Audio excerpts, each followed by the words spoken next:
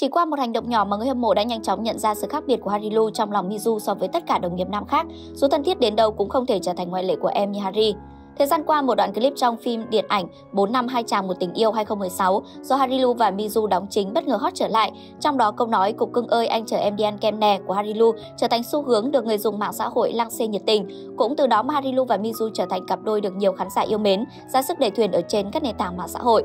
Mới đây, cư dân mạng dần dần truyền tay nhau đoạn clip có sự xuất hiện của diễn viên Mizu. Video ghi lại những khoảnh khắc người đẹp sinh năm 1989 xuất hiện xinh đẹp, dạng dỡ ở sự kiện. Đáng chú ý trong clip này còn ghi lại lần đầu Mizu lộ diện tham gia sự kiện giải trí cùng hai sao nam là Trần Anh Huy và Harilu. Ở đầu clip, diễn viên Mizu có hành động được cho là đã nhắc khéo bạn diễn Trần Anh Huy khi anh chủ động vòng tay qua ôm eo cô giữa sự kiện. Tuy nhiên khi xuất hiện cùng diễn viên Harilu, Mizu lại rất thoải mái và thân thiện. Không những thế, nam diễn viên góc đài còn có hành động trêu đùa dựa đầu vào vai cô bạn thân giữa nơi đông người. Khi Harilu ôm eo, Mizu cũng cười tươi thoải mái trước ống kính và không có động thái nào khác tỏ thái độ không vừa ý hay không hài lòng. Mizu là một diễn viên, giảng viên kiêm kinh doanh thành đạt, được đông đảo mọi người biết đến. Không chỉ vậy, cô nàng cũng chính là một trong những hot girl xài thành đời đầu. Ở thời điểm hiện tại, Mizu vẫn vô cùng xinh đẹp và thành công.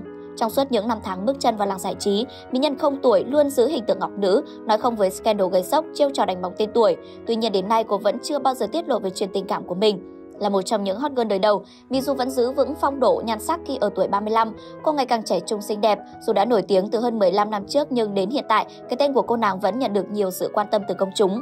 Với sự nổi tiếng bất ngờ từ những hình ảnh chơi bóng rổ ấn tượng cho đội bóng trong trường đại học, Harilu không chỉ gây chú ý bởi chiều cao lý tưởng 1m83 mà còn bằng vẻ ngoài điển trai và lịch lãm. Nhờ vẻ ngoài thu hút, Hadilu nhanh chóng nhận được sự chú ý của các đạo diễn và bắt đầu sự nghiệp diễn xuất. Con đường sự nghiệp của anh bắt đầu với bộ phim Thần tượng với sự góp mặt của dàn sao nổi tiếng như Chi Pu, Hoàng Thùy Linh, Ngô Kiến Huy và Hứa Vĩ Văn. Diện mạo cuốn hút và nét diễn xuất dễ thương đã giúp anh để lại ấn tượng sâu đậm với khán giả. Trải qua thành công ban đầu, Hanilu tiếp tục được chọn mặt gửi vàng vào các dự án phim đình đám khác như Hương Ga, Trở về ba và cuối cùng là vai nam chính trong bộ phim điện ảnh 4 năm hai chàng một tình yêu của nữ đạo diễn Lắc Vân, nơi anh càng khẳng định được tài năng của mình.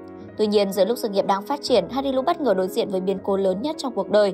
Thông tin về tai nạn của nam diễn viên đã khiến nhiều người hâm mộ lo lắng. Với tình trạng gãy xương mũi, xương mặt biến dạng và lệch khỏi vị trí ban đầu, cùng việc phải trải qua 60 giờ phẫu thuật tại phòng mổ, Harilu đã đối mặt với những thử thách vô cùng khó khăn. Sau những biến cố đau buồn, Harilu đã cân bằng được sức khỏe và tâm lý. Hiện tại, nam thần màn ảnh một thời đang hoạt động nghệ thuật tại quê nhà Đài Loan. Với cơn sốt trở lại sau 7 năm vắng bóng, Harilu hứa hẹn sẽ có màn comeback với màn ảnh Việt trong tương lai gần.